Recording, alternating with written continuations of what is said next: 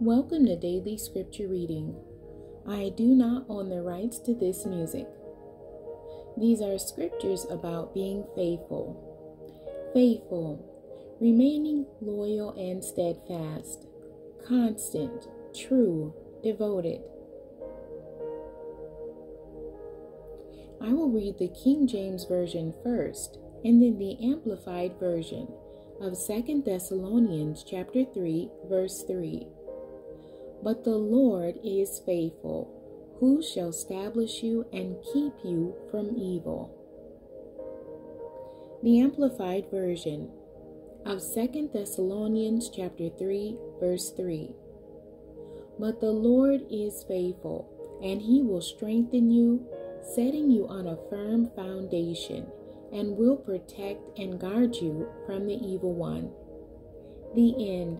God bless you and thank you for joining me today.